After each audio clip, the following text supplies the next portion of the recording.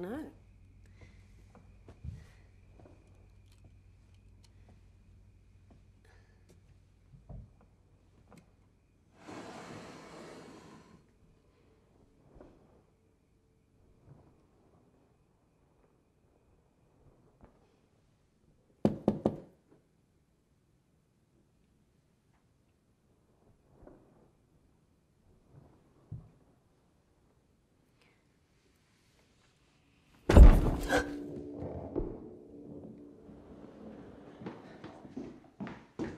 What is that?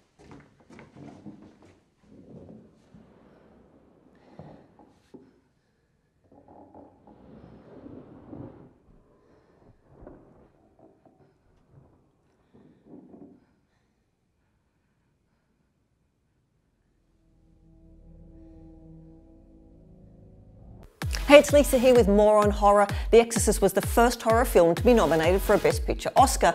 Now, the horror genre has never gotten much love from the Academy, though there still seems to be a bias against scary movies during awards season. The Exorcist earned 10 Oscar nominations in 1974, including Best Supporting Actress nod for Linda Blair, who was just 15 years old at the time. Now, do you like my shirt? You can get one in the description below.